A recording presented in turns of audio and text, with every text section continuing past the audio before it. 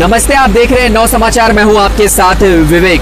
गुरुग्राम का ये सिकंदरपुर का बड़ा गाँव है, जहाँ पर श्री श्याम मंदिर सेवा दल की तरफ़ से एक भंडारे का आयोजन किया गया है। ये भंडारे का जो आयोजन ये 24 और 25 मार्च, यानी कि दो दिन होगा, और इस दो दिन में जो है यहाँ पर मेले का भी आयोजन किया गया है इस स्कूल पर। और जैसा कि आप देख सकते हैं कि पीछे भंडारे का जो आयोजन है, वो सुबह से ही चल रहा है। यहाँ पे अच्छी खासी भीड़ देखने को मिल सकती है। यहाँ पे जैसे कि आप देख सकते हैं कि भीड़ काफ़ी ज़्यादा इकट्ठी है और यहाँ पर लोग एक एक लाइन में बैठ करके एक बड़े से प्रांगण में यहाँ पे लोग भंडारे का स्वाद चख रहे हैं। इसके अलावा आप देख सकते हैं कि यहाँ पर ये जो स्कूल प्रांगण है एक पुराना मंदिर भी है, जिसे बेहतरीन तरीके से सजाया भी गया है। और ये मंदिर आप देख सकते हैं कि यहाँ पर इसके साथ सजावट की गई है। इसके अलावा आप देख सकते हैं यहाँ पर पीछे भागवत कथा का आयोजन भी किया गया है। ग्राम पंचायत की बहुत सारी महिलाएँ आ रखी हैं। साथ ही साथ दूर दराज से भी बहुत सारी महिलाएँ जो है इस कथा का लुत्फ उठा रही हैं।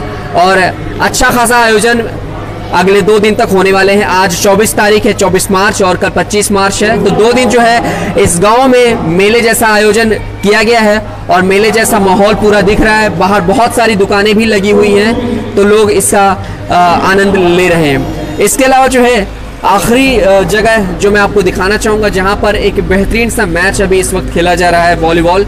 लेकिन आज के दिन के बाद जो दूसरे दिन का कार्यक्रम है, वो और भी ज़्यादा खास होने वाला है। कल के दिन 25 मार्च को उसका लुत्फ उठाना आप लोग मत भूलिएगा। तो चलिए अब आपको लेके चलते हैं वॉलीबॉल वाले ग्राउंड पर, जहाँ इस मेले में जो है हर तरह की चीज़ें आपको देखने को मिल सकती है। खाने पीने से लेकर के खेल कूद और इसके अलावा और भी ऐसे बेहतरीन से कार्यक्रम है। खासतौर से इस मेले में हर वर्ग को ध्यान में रखते हुए आयोजन किए गए हैं। और यहाँ पर देख सकते हैं कि ये वॉलीबॉल का मैच चल रहा है। राजकीय मॉडल संस्कृत प्राथमिक विद्यालय सिकंदरपुर बढ़ा के पास में। और अच्छा खासा मैच ये सुबह से ही चल रहा है, लोग आनंद ले रहे हैं। लेकिन कल के दिन जो है मैच और भी ज़्यादा खास होने वाला है। जैसा कि आप देख सकते हैं, बहुत सारी भीड़ भी यहाँ पे नज़र आ रही है और हर कोई इसका आनंद ले रहा है।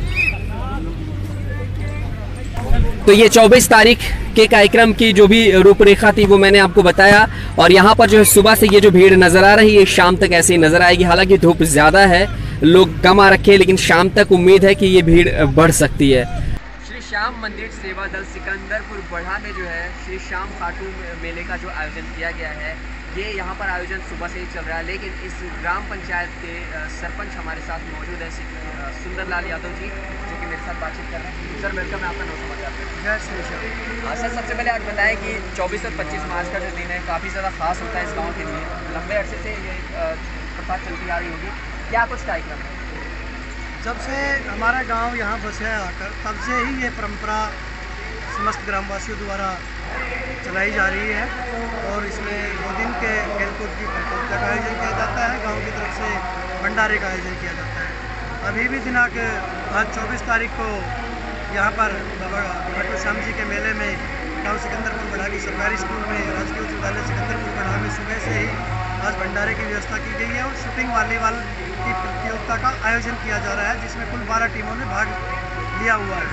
अभी आपके सामने आप दृश्य देख रहे हैं, बड़ौत यूपी और मेरठ यूपी की टीमों के बीच में मुकाबला चल रहा है शूटिंग वॉलीबॉल का। और उम्मीद करते हैं कि रात में 11 बजे तक हमें यहाँ विजेता टीम मिल जाएगी कि रात में हमने लाइट की व्यवस्था कर दी गई है, देर नाइट तक ये मुकाबले चलेंगे। उसके बाद कल 25 तीन दो हज़ार इक्कीस को समस्त ग्रामवासियों की तरफ़ से बीस से पच्चीस हज़ार लोगों के लिए देसी घी के भंडारे का आयोजन प्रो कबड्डी मैट पर खिलाई जाएगी उसमें इक्यावन हज़ार इकतीस हज़ार रुपये का इनाम रहेगा। और कुश्ती का दंगल जिसमें एक लाख रुपया की फाइनल कुश्ती होगी इक्यावन हज़ार रुपये की और अन्य छोटी कुश्तियाँ आयोजित। बहुत शुक्रिया बात करने धन्यवाद। तो जैसा कि आपने देखा कि सिकंदरपुर बढ़ा में 24-25 मार्च का दिन काफ़ी ज़्यादा खास होता है लंबे अरसे से प्रथा चलती आ रही है और यहाँ पर जो कार्यक्रम जो कुछ भी था, वो हमारे इस ग्राम पंचायत के सुंदरलाल यादव जी ने अपनी ज़ुबान से बता दिया। 25 मार्च कल के दिन एक बार फिर से नौ समाचार की टीम यहाँ पर मौजूद रहेगी वो सारी अपडेट्स आपको देती रहेगी मैं विवेकानंद पांडे, सहयोगी सपना वर्मा के साथ सिकंदरपुर गुरुग्राम धन्यवाद।